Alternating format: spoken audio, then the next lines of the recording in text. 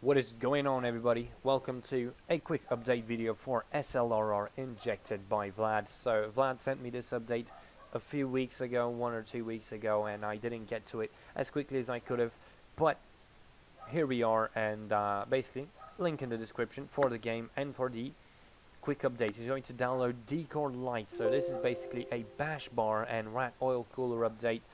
Um, it's very simple to install. You just go into SLRR injected by Vlad, uh, open the README, delete CHT engine and Alfa Romeo for better stability. So you basically just uh, go into the search bar, delete, enter CHT, then enter all Alfa. I'm not going to be, it's not going to be here because I already did this because this is my, what, third time recording this because it keeps corrupting itself. I don't even know. Uh, basically delete these two and then you get these four, go into parts, and then just drag and drop and it's works like uh, works like butter. Um, yeah, that's that's basically that's basically what it what the update is. I'm going to show you what it looks like in game. So then you just enter your game. You know, you get your car. Uh, you know, my beautiful. Let me just straighten the wheels out. You know, oh, oh, look at that beauty. You get into the into your game. You go into body. You go into other, and there you go. You've got bash bars, rears, fronts, everything and uh, there is the rat style oil cooler you know. Always good to have rat style oil coolers. Now this this part will depend on the car you're installing this and um, yeah because it does boom. Um, you're like you're like what the fuck? And there it is.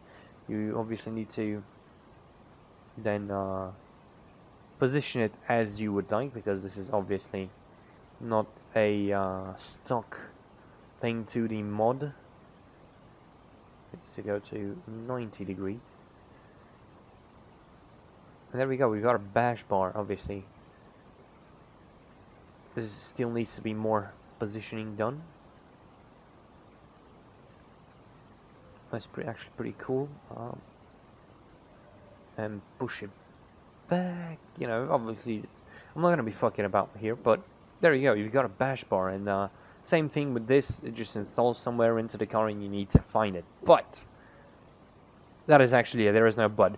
Um, so yeah, shout out to Vlad for uh, updating the game, and uh, he said he's going to be working on adding more cars and uh, making them stable, because that's the whole point of this. Uh, one of the, like, little, uh, uh, one of the only, if not, no, it's not the only, but one of the only stable SLRs out there so uh, shout out to Vlad and uh, thank you for watching. I'm to see you in the next one.